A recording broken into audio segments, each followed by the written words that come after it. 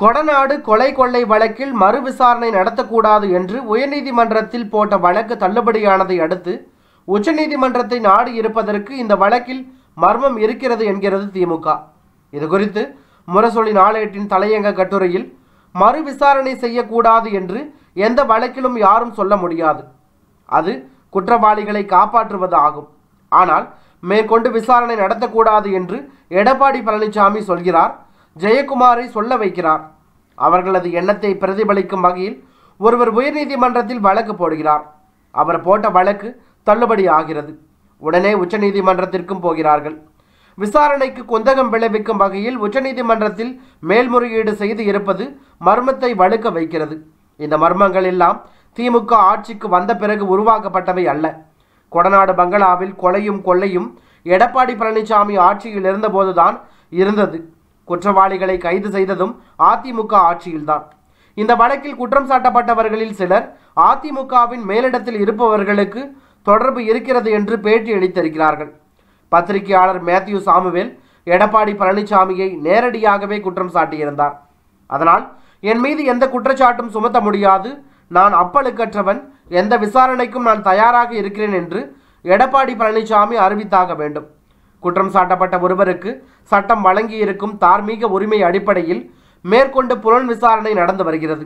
இதில் குறை காண்பதற்கு நடந்த குற்றத்தை மறைப்பதற்கு சமம் என்பதை அதிமுகவினர் முதலில் புரிந்து கொள்ள வேண்டும் என குறிப்பிடப்பட்டிருக்கிறது.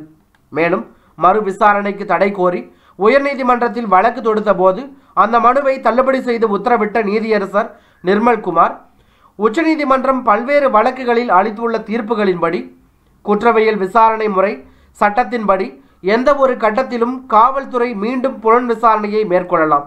இதில் சந்தேகமோ எதிர்ப்போ தவறோ காண முடியாது. இதனால் வழக்கு காலதாமதம் ஆகும் என்று மனுதாரர் தரப்பில் வாதம் வைக்கப்பட்டது. ஒரு குற்ற வழக்கின் உண்மையை வெளியில் கொண்டு வருவதுதான் முக்கியம் என்று உச்சநீதிமன்றம் சொல்லியிருக்கிறது.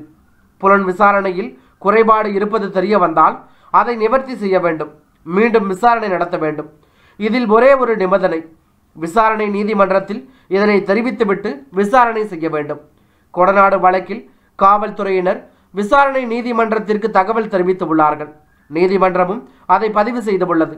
பெரும்பாலும் விசாரணை முடியும் நிலையில் இருந்தாலும் நேர்மையான விசாரணையின் அடிப்படையில்தான் நியாயமான தீர்ப்புகளை வழங்க முடியும். எனவே இந்த வழக்கில் மீண்டும் புலன் விசாரணை மேற்கொள்வது அவசியமாகிறது. உண்மையை வெளியில் கொண்டு வருவதுதான் முக்கியமாகும். நேர்மையான விசாரணைக்கும் விரைவான விசாரணைக்கும் வித்தியாசம் உண்டு.